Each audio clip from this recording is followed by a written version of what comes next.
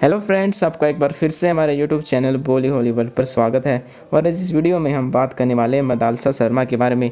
कैसी रहे दोस्तों मदालसा शर्मा की लाइफ स्टाइल इनकी रिलाइफ इनकी height weight age family biography सारी डिटेल इस वीडियो में आपको आगे बताएँगे। सो वीडियो को एंड तक ज़रूर देखना।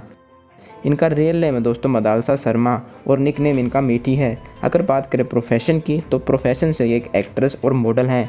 इनका जन्म हुआ था 26 सितंबर साल 1991 को मुंबई, महाराष्ट्र में, और साल 2021 के हिसाब से दोस्तों ये 30 इयर्स की हो चुकी हैं। अगर बात करें इनकी नेशनलिटी की तो नेशनलिटी से इंडियन है और रिलीजन से ये हिंदू हैं। इन्होंने अपनी स्कूलिंग की है दोस्तों मार्बल आर्ट स्कूल मुंबई से। फिर उसके बाद मीठी बाई कॉलेज मुंबई से इन्होंने अपनी ग्रेजुएशन की।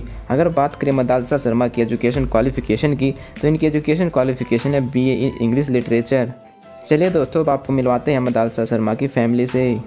इनकी फैमिली की डिटेल और फ़ोटोज़ को दोस्तों आप स्क्रीन पर देख सकते हैं।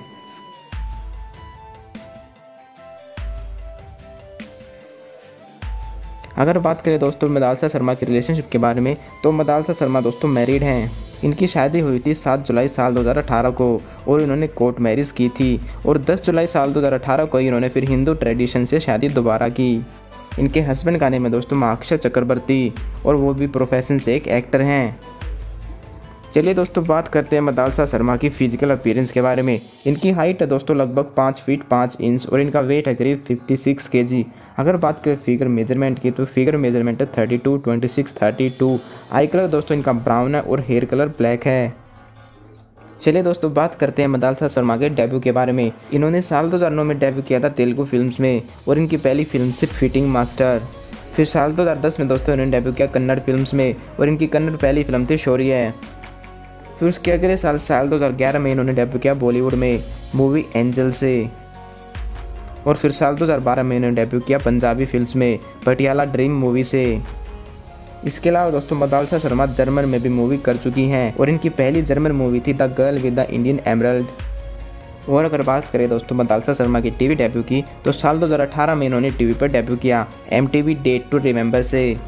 मदालसा शर्मा दोस्तों एक फिल्मी बैकग्राउंड फैमिली से बिलोंग करते हैं। इनके फादर एक रियोन डायरेक्टर है और इनकी मदर एक बॉलीवुड करेक्टर एक्टर हैं। और एक फिल्मी फैमिली होने के कारण दोस्तों इनका बचपन से ही एक्टिंग की तरफ़ रुझान था और उन्होंने अपनी एक्टिंग स्किल्स सुधारने के लिए किशोर नमित कपूर एक्टिंग इंस्टीट्यूट से ट्रेनिंग ली।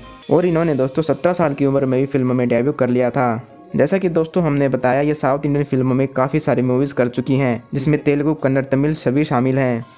और दोस्तों, अगर बात करें फ़िलहाल की तो फ़िलहाल मदालसा शर्मा स्टार प्लस के साथ उनके सीरियल अनुपमा में काव्या का किरदार निभा रही हैं।